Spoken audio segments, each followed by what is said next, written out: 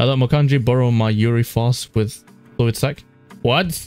What? What do you mean by that? Oh.